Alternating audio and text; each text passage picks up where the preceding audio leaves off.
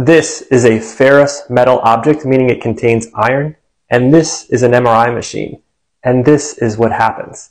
MRI stands for magnetic resonance imaging. So it's basically a giant magnet. And if you get anything that is ferrous metal, meaning contains iron, it can get sucked into the machine rapidly.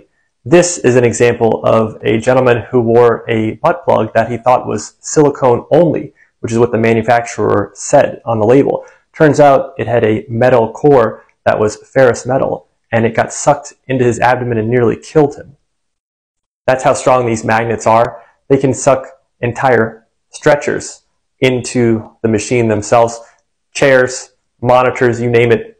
Now, non-ferrous metals like aluminum or copper or silver or titanium are okay. Those are MRI compatible. You won't get sucked into the machine, but regular metal that contains iron will. So people sometimes ask when this happens, why don't you just turn the MRI machine off? Well, if only it were that simple. It can cost about $50,000 to power it down and then power it back on. It can damage the MRI machine permanently. So just be careful. No ferrous metal, please.